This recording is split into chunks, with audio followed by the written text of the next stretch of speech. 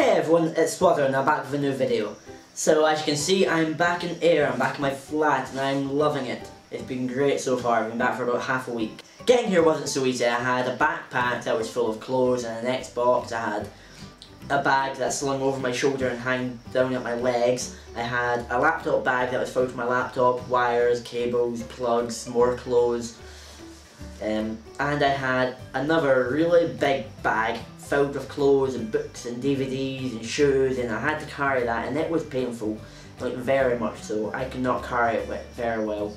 The bags were so heavy that I couldn't walk very far. It was pretty much like every 15 seconds so I had to drop the big bag just to rest my hands and my arms. My hands were very sore and actually very stiff afterwards.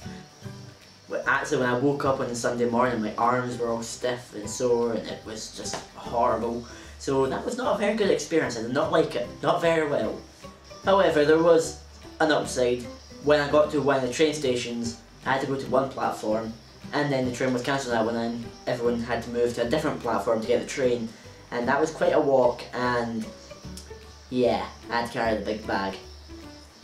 But then some woman, that her name was Diane, stopped and she offered to help me them because she could see I was struggling. So that was really nice and it restored my faith in humanity that some people are actually nice without any ulterior motive. So I was very happy with that and she was a lovely woman. I ended up just sitting and talking to her on the train as well, so that was nice. My journey, which is normally about two and a half hours or so, ended up taking about, oh, must have been about five hours, six hours. So that was very not good. I really did not like it.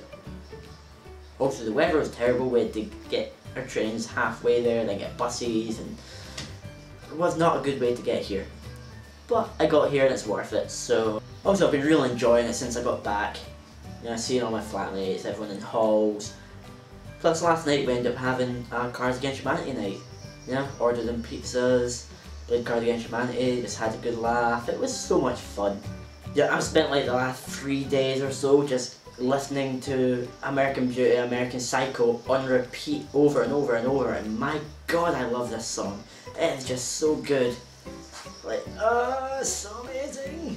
So that's it for today guys. If you want a message to take away from this video, it can be A, buy a Fall Out Boy's new album, or B, make sure you can carry the amount of bags you take when you go somewhere because you really don't want to be stuck in my situation carrying heavy bags that are pretty much just being dragged across the floor because you can't carry them well. If you liked this video, give it a thumbs up and hit subscribe if you want to be updated when I make new content.